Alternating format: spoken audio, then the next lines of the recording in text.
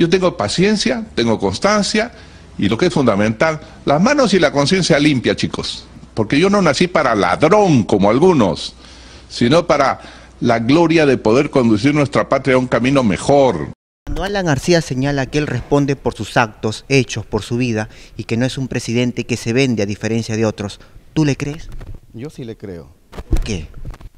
Porque Alan García, eh, durante su periodo como presidente, era la cabeza de un partido, el cual, el, el cual este, está muy incursionado en lo que es la doctrina de Aya de la Torre. Aya de la Torre fue la persona quien formó a Alan García. Yo me pregunto, ¿cómo una persona que tiene la aspiración de, de, un tercer mandato y de haber hecho un buen gobierno en donde el Perú creció lo que normalmente hubiera costado crecer 50 años, a estarse dejando coimear por una, por una empresa con tal de conseguir obras o estas cosas? No, yo, no eso no, no me pasa por, por la cabeza. ¿Qué es para ti Alan García? Bueno, actualmente Alan García es un líder de nuestro partido. Alan García no deja de ser un gran líder, gran conocedor de la política nacional y mundial y a la vez es un peligro para aquellas personas que tienen aspiraciones presidenciales para el 2021. ¿Qué opinas con respecto cuando te dicen que tú eres fanático de Alan García?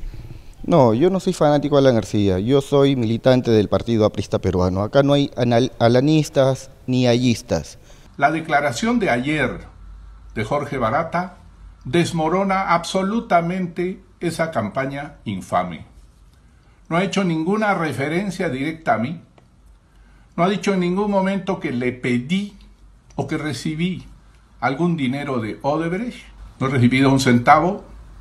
No he hecho mal uso del gobierno para enriquecerme personalmente como otros declaraciones de Jorge Barata, ex representante de Odebrecht, al señalar que en el año 2006 la constructora brasileña financió la campaña de Alan García con 200 mil dólares a través del exministro Luis Alba Castro. En esa declaración de Barata en ningún momento ha afirmado que sea para la campaña del 2006. Ahí hay un error. Lo que Barata haya afirmado que se aportó supuestamente para la campaña del 2011, en donde Alan García no era candidato. Y si Luis Alba Castro está comprometido en todo esto, ya la dirección política del partido ha tomado cartas en el asunto y ya se está abriendo una comisión investigadora que ha sido a solicitud del mismo Luis Alba Castro. Barata tampoco en ningún momento ha mencionado el nombre de Alan García, ha mencionado el nombre de terceros, en ningún momento ha dicho cómo, cuándo y en dónde le ha dado, como sí lo ha hecho con otros expresidentes.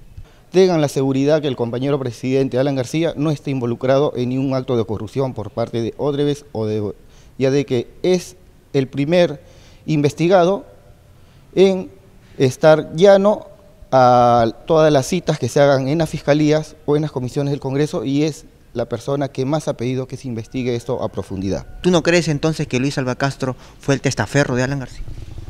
No, yo no creo en eso. Primero que lo demuestren. Es fácil lanzar muchas conjeturas, pero la cosa es de acá, que trabajen nuestros fiscales o los fiscales de, también de las, de las Cortes brasileras, y en caso están investigando también estos casos, para que demuestren de que lo que dijo el señor Barata es real, es cierto. ¿Qué dirías a todas esas personas que critican a Alan García y que sobre todo ya no le creen en lo que él dice? Bueno, hay un, una frase que dice, miente, miente que algo queda. Alan García lo vienen desprestigiando por más de 30 años. Y no, el APRA no solamente es desprestigiado desde ahora, el APRA es desprestigiado desde su fundación. En los tiempos de Aya la Torre también fue perseguido por diferentes gobiernos, algunos que fueron elegidos democráticamente, otros que fueron dictaduras. Y el, ser aprista nos lleva a esto, nos lleva a soportar críticas, a soportar difamaciones.